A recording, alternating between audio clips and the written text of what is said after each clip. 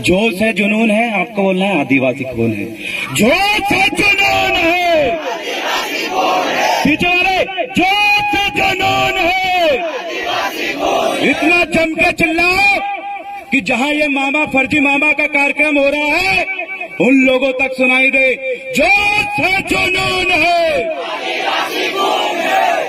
उस मामा के लिए सबक है कि चंद दिनों में ये युवा क्रांति ये आदिवासी युवा, ने वो माहौल खड़ा कर दिया, वो कारनामा खड़ा कर दिया, ऐसा कृत्य करके दिखा दिया कि इनको मजबूरी हो चुकी है।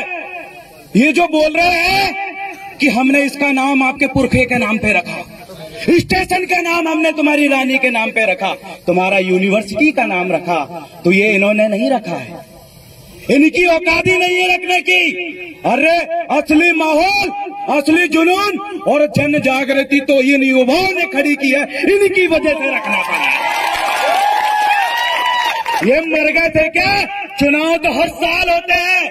चुनाव की वजह से इन्होंने हमारे बाप, दादा और महान पुरखों को सम्मान देने का काम नहीं किया है। चुनाव हर साल होते मेरे युवा साथियों, अभी हमारी मात्र 20 परसेंट जन जागृति बढ़ी है।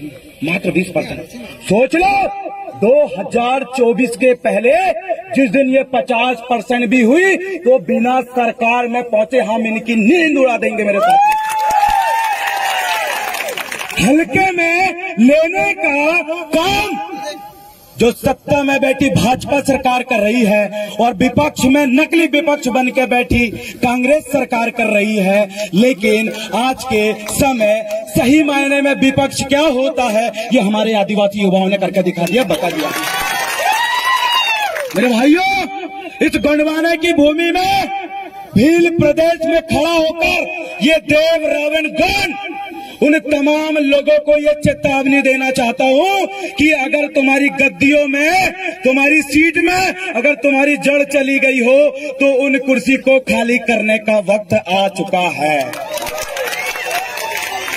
मात्र अब आज का ये कार्यक्रम, ऐतिहासिक कार्यक्रम इसलिए है, आज वो आगाज़ आज वो क्रांति इसलिए है क्योंकि यहाँ मात्र सिर्फ़ एक आदिवासी समुदाय का, एक कबीला का व्यक्ति नहीं है। यहाँ गौंड भी है, भील भी है, मीणा भी है। तमाम आदिवासी समुदाय के लोग आज एकत्रित हो चुके हैं। सगा, साथियों, आज हमने देखा कि हमारे सामने हमारी माताओं, बहनों का कितना अपमान हो रहा है। माताओं, बहनों के साथ बलात्कार हो रहा है। और एक तरफ़ ये मामा कहते हैं। ये मामा कहते हैं कि मैं मामा हूँ टांटिया मामा से अपने आप का अंतर करते हैं, इनको याद दिलाइए। टांटिया मामा ने कभी चुनाव नहीं लड़ा। टांटिया मामा ने मुख्यमंत्री बनने के लिए इनकी तरह, फर्जियों की तरह विधायक नहीं खरीदा। टांटिया मामा ने अरे मामा तो उनके सगे भाई ने भी महिला का हाथ पकड़ लिया था। उनका हाथ काटने वाले व्यक्ति हमारे टांटे मामा थे। हर एक महिला उस समय सौ परसेंट सुरक्षित थी। उनके साथ कोई भी शोषण, अत्याचार नहीं होता था। इसलिए माताएँ, बहनें, उनको भाई और हम सब उनको मामा कहते थे।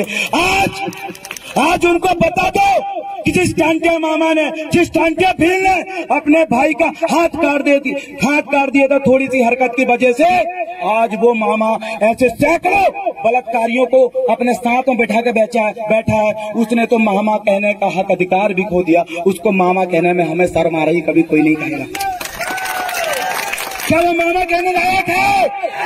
क्या मामा अरे सच में मामा कहने लायक होता तो नेवालन में हमारे युवा बार बार आके आंदोलन नहीं करते। अरे सच में अगर वो मामा कहने लायक होता तो यहाँ की माताओं बहनों की इज़्ज़त बरकरार रहती। अगर सच में वो मामा कहने लायक होता तो उसकी पार्टियों में ऐसे बलात्कारियों को भर के नहीं रखा था। वो मामा नहीं है। वो मामा नहीं है, वो तो मैं नहीं बोलूँगा, पुलिस वाले सुन रहे बोलेंगे, ये ऊट पटांग बोलता है, वो तो आपको जवाब देना है। सगा साथियों, मैं आपसे कुछ कहना चाहता हूँ। मुझे लग रहा है, सच में, आज मुझे लग रहा है कि मैं ज़िंदा लोगों के बीच आया हूँ। मुझे लग रहा है कि मैं ज़िंदा लोगों के बीच आया हूँ। सच तो यह है यारो, आज मैं वीर योद्धाओं के बीच आया हूँ। सच तो यह है यारो कि मैं वीर योद्धाओं के बीच आया हूँ। आप सभी मूल मालिकों को एक संदेश है मेरा, पूरी मेरी जीएचयू टीम की ओर से, दिल से, सेवा सेवा सेवा जोहार है मेरा, सेवा जोहार है मेरा। सगा साथियों, और इसी के साथ अपनी बात को कंटिन्यू करते हुए मेरे बहुत सारे वक्तागण यहाँ पर आए हैं। लेकिन मैं आपको ये संदेश देना चाहता हूँ कि अब वक्त आ चुका है पूरे भारत के आदिवासियों को एक होने का। आज वक्त आ चुका है, अगर जिस दिन पूरे भारत के आदिवासी एकत्रित हो गए तो हम पांचवी अनुसूची की बात करते हैं। अब हम बात करेंगे कि छठवीं अनुसूची के संपूर्ण प्रावधान को पांचवी अनुसूची में लागू, छठवीं अनुसूची के पूरे प्रावधान को पांचवी अनुसूची में लागू करो। अब हमें ऐसे अधिकार की ज़रूरत है। पाँच और छह में नहीं बटना अब ओनली छह चाहिए। हमें संपूर्ण धरती के हमें मालिक हैं। ये लोग हमारी धरती में आकर हमारे लोगों को पहला पुसलाने का काम कर रहे हैं। आज ऐसे लोगों को इस मंच से जवाब मिल गया है। उनकी तो नींद उसी में उड़ गई है, जब उन्होंने देखा कि भील प्रदेश और गणमाना प्रदेश के लोग एकत्रित होकर हमारे खिलाफ उलगलान चल चुके हैं। मेरे जितने युवा शक्ति आए हैं मात्र शक्ति आए हैं। अब वक्त आ गया है कि आप साबित करो। ये पंचायत चुनाव में इस प्रकार से साबित करके दिखाओ। इनका सुपड़ा साफ़ कर दो अपने क्षेत्रों से। सही मायने में वो इनको सबसे बड़ा जवाब होगा। ये राजनीति हमें सिखाते हैं। इनकी औकात नहीं है। राजनीति क्या होती है? अगर पढ़ना है तो आदिवासियों का इतिहास पढ़ो। समाज नीति क्या होती है? अगर समझना है तो आदिवासियों का इनके इतिहास को पढ़ना पड़ेगा। सगा साथियों इतना कहकर मैं अपना स्थान ग्रहण करता हूँ। और अंतिम में आप तमाम युवा साथियों से कहना चाहता हूँ कि आ, हमारे जंगल हमारे हैं हमारी ज़मीन हमारी है। जान दे देंगे अगर कोई जल जंगल ज़मीन को हमसे कोई छीनेगा। और जान दे भी सकते और जान। जान हमें बस मजबूर न करे प्रशासन। इतना कहकर मैं अंत में कहूँगा, हम सभी कबीलाओं कबीला युवाओं की एकता, हमारी कामयाबी की पहली सीढ़ी है। बहुत बहुत धन्यवाद। ज़ोर से जुनून है। ज़ोर से जुनून है। ज़ोर से जुनून है। बहुत बहुत धन्यवाद। सेवा सेवा सेवा सेवा।